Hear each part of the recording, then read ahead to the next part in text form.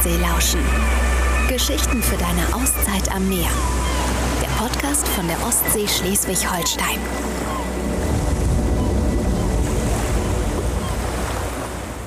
Hi Simone.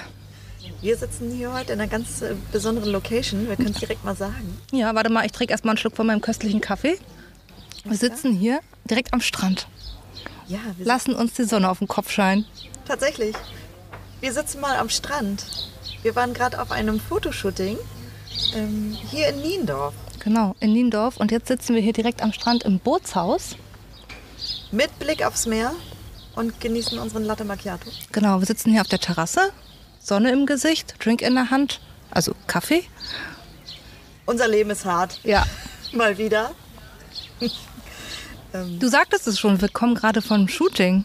Genau. Und diesmal standen wir zwei Nasen auch ein bisschen selbst vor der Kamera. Ja, ich weiß nicht, ob das so eine kluge Idee von Ich weiß es war. auch nicht.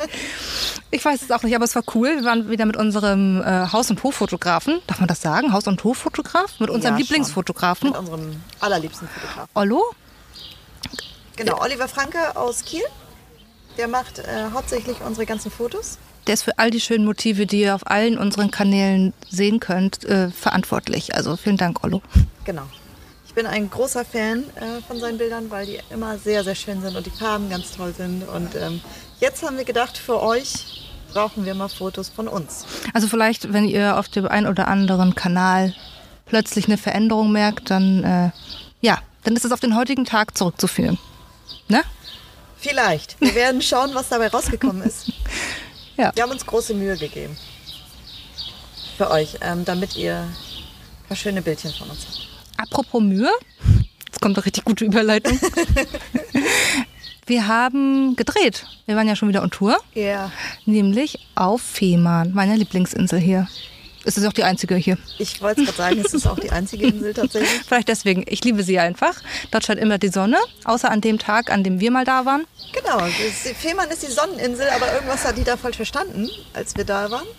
Das Wetter war super schön angekündigt und es war einfach stürmisch kalt und es hat ein bisschen geregnet. Genau. Aber umso fröhlicher war die Gruppe, mit dem wir da gedreht haben, denn wir waren zu Gast bei der DLRG. Ja, eine ganz coole Truppe. Die Retterinnen in der Not. Ja. Die starken Arme, die dich aus dem Wasser ziehen, wenn es sein muss. Oder, Oder vom Strand retten, wenn du umgeknickt bist. oh, könnte passieren. Könnte passieren. Simone, bist du vielleicht umgeknickt und brauchtest Rettung in der Not? Man weiß es nicht. Also für alle, die jetzt überhaupt nicht wissen, worüber wir sprechen, schaut euch unser Video an aus der, von der Folge Ostseelauschen. Wir verlinken das natürlich in den Shownotes. Aber ihr dürft auch jederzeit auf www.ostseelauschen.de gehen. Da gibt es alle Folgen. Ihr könnt euch da nochmal durchklicken, durchhören, durchlesen und Ollos Fotos anschauen zum Teil, wenn ihr darauf Bock habt. Genau. Genau, und das war echt ähm, ganz cool, weil tatsächlich ist es ja so, dass die DLRG, das sind keine Festangestellten, sondern das sind Menschen mit ganz normalen Berufen. Also Menschen wie du und ich mit Rettungsschwimmer-Ausbildung und Ja. Notarztausbildung. Nee, nicht Notarztausbildung. Erste-Hilfe-Ausbildung, Erste genau. Hilfe-Ausbildung. Und die opfern tatsächlich ihren Urlaub dafür, im, im Sommer, beziehungsweise zwischen, ich glaube, Mai und September, hier am Strand für unsere Sicherheit zu sorgen. Genau, also Opfern klingt ja jetzt natürlich so, als würden die ein großes Opfer bringen. Die sind natürlich in der schönsten Kulisse, wie zum Beispiel die Gruppe jetzt, die wir auf Fehmarn getroffen haben. Ja. Ähm, direkt am Südstrand. Die haben eine wunderschöne Unterkunft, auch direkt am Hafen. Die können da jeden Abend die tollsten Sonnenuntergänge Ja, anschauen. Also ich, ich stelle es mir schön vor, aber es ist natürlich Urlaub mit Arbeit.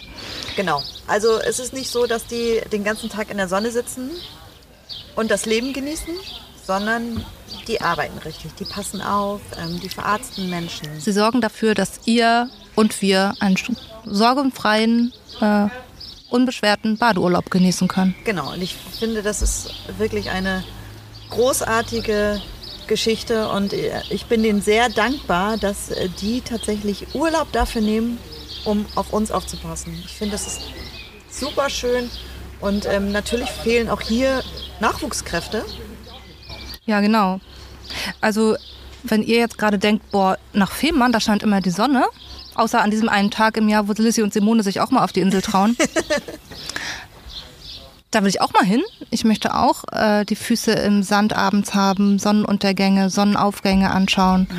und nebenbei arbeiten, mit tollen, netten Leuten zusammen zu sein, dann geht doch mal auf dlrg.de-mitmachen, da findet ihr alle Infos. Ja. Oder schaut unser, unser Video, da erzählen, ähm, erzählt Jasmin, die bei der DLRG eben im Einsatz war, ja, von ihrer Arbeit und was die da so erleben, machen dürfen, sehen und ähm, dass die so viel positives Feedback bekommen, dass mhm. die Gäste total glücklich sind mhm. und da ab und zu mal am DLG-Turm vorbeilaufen, klopfen und irgendwie was Nettes da lassen. Und das ja. ist irgendwie total schön zu wissen. Ne? Vielleicht macht ihr das in Zukunft auch. Mal. Ja, vielleicht macht ihr das in Zukunft auch mal. Geht doch einfach mal zur DLRG und sagt denen, dass sie tolle Arbeit machen. Ja, ja, komm, das ist schön. Macht das mal. Ja. Ja. Ähm, genau. Das ist unser Tipp des Tages. Und ich habe noch einen Tipp des Tages. Und zwar, wenn ihr Fehmarn mögt, dann haben wir jetzt eine Empfehlung für euch. Denn die Kollegen von der Tourismusagentur Schleswig-Holstein haben auch einen Podcast. Der heißt Shorttime. Shorttime, der Küstenschnack. Genau, und die fahren hier durchs ganze Land und interviewen die Menschen. Und die waren nämlich auch auf Fehmarn, unter anderem bei den Chachullas. Die haben eine Surfschule. Das sind Zwillinge wettergegerbte Männer mit Vollbart äh, und die haben eine Surfschule und die haben sie interviewt. Genau. Also wenn ihr noch mehr von Fehmarn hören möchtet, schaltet doch mal Showtime ein. Unbedingt. Wir verlinken natürlich gerne im, in den Shownotes wieder. Genau. Lohnt sich die zu lesen, ne? Was steht da noch drin, Simone? Da steht auch drin, wie man sich an uns direkt wenden kann, oder? Ja. Schreibt uns mal eine Mail. Hallo at ostelauschen.de wir wollen irgendwie, wir verlangen irgendwie heute ganz schön viel von unseren Zuhörerinnen und ja, Zuhörern. Was ne? machen sollen, Ihr müsst ne? so viel machen für uns, aber ich glaube, das liegt einfach daran, dass wir hier mit Blick aufs Meer und Also wir machen ja auch was für euch, ne? Wir sitzen ja hier mit Blick aufs Meer und nehmen für euch Podcasts auf und mhm. unterhalten euch. Also von daher ähm, schreibt uns doch mal, wie ihr das so findet. Könnt ihr auch mal eine Gegenleistung uns dafür bieten. Also wirklich, wir würden uns wirklich freuen, wenn ihr uns mal schreibt. Die netteste Mail kriegt ein kleines Geschenk zugeliefert vielleicht. Ja, und vielleicht grüßen wir euch auch beim Podcast. Das können wir gerne machen, ja. Ähm, Lizzie, was steht noch so an bei uns? Was steht noch so an? Wir sind gerade mitten in der Planung für die kommenden Folgen für Ostseelauschen tatsächlich. Mhm. Grömitz steht da ganz oben auf unserer Liste, ja. oder? Ich möchte nochmal nach Grömitz. Ja, ich habe auch richtig Bock. Und ähm, wir verraten noch nicht, wo es genau hingeht. Das hört ihr dann in der nächsten Folge. Seid gespannt. Und ja, wir wollen auch gerne mal in die Propstei fahren. Ja, weil da ist ja, sind ja jedes Jahr die Propsteier Korntage. Und das finde ich super interessant. Und wenn das klappt, das wäre ziemlich cool. Das wäre ziemlich cool. Außerdem wollen wir noch mal in die Hohwachter Bucht, oder? Oh ja. Mir schwebt da so das Gut Punker vor.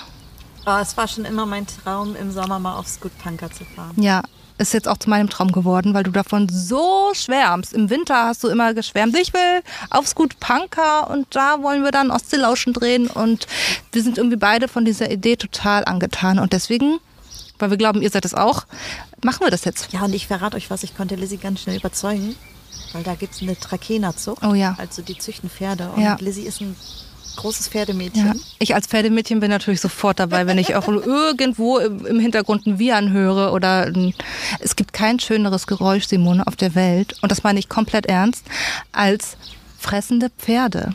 Wenn die so Heu... Fressende Pferde? so mampfen. Wenn die so Heu nicht mümmeln, malmen, wenn die so Heu ja. fressen. Es gibt kein schönes Geräusch. Ich liebe es. Gut. Darüber lässt sich diskutieren. Wir könnten jetzt zum Beispiel darüber diskutieren, ob ich im Schnitt hier so ein mal so ein Geräusch aufnehmen soll und das für unsere Zuhörerinnen und Zuhörer einfach mal ja, ähm, zugänglich mal. machen soll. Wir schneiden einfach mal so, so ein Pferdefressen rein. Die nächste Folge einfach direkt aus dem Pferdestall. Ich finde ja auch das Meer, Meeresrauschen ganz schön oder das Kreischen der Möwen, aber gut, so ein fressendes Pferd ist auch nett. Ja, nichts gegen das Rauschen der Ostsee, aber... Ja, aber da freue ich mich wirklich sehr, sehr, sehr drauf. Da freue ich mich auch drauf. Wir streicheln Pferde. Ja, weil du streichelst Pferde und ich arbeite währenddessen. Und es ist auch ein heißer kulinarischer Tipp, ja. denn dort ähm, auf dem Areal mhm. gibt es ja auch ein super Gourmet-Restaurant, die ja. Ole Liese. Genau. Da lohnt sich ein, Besuch auf jeden Fall, ne? Ja, dies, äh, das Restaurant ist tatsächlich sehr bekannt. Ähm, ich war da tatsächlich noch nie essen. Na, wir gehen ja bald mal, ne? Ja. Für Essen sind wir immer zu haben. Für Essen sind wir immer da. Also wir werden das Essen für euch testen. Hoffentlich, wenn wir Zeit haben. Jetzt machst du große Versprechungen. Ja, ich. Er Ich für dich mache- selbst versprochen. Du weißt, ich liebe das ja. Ja. Ich könnte ja überall Kuchen essen. Ähm, ja, ich mache die Versprechung und du verteilst Und die ich löse die dann an ein. Okay, alles Ja. klar. Machen wir, Simone. In diesem Sinne würde ich sagen, wir haben jetzt einiges versprochen. Jetzt müssen wir uns auch ranhalten, das, äh, Das umzusetzen. ne? Ja, Oh je. ja.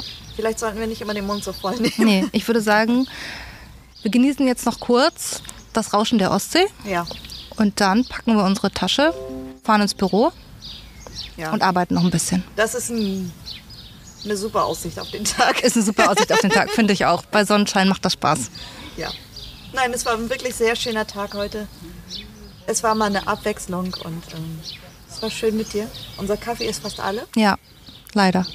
und deswegen fahren wir jetzt zurück ins Büro. Genau. Und wir hören uns beim nächsten Mal. Genau. Macht's gut. Bis dann. Tschüss. Das war eine neue Folge Ostseelauschen. Geschichten für deine Auszeit am Meer. Der Podcast von der Ostsee Schleswig-Holstein. Wollt ihr mehr erfahren? Dann besucht uns unter www.ostseelauschen.de.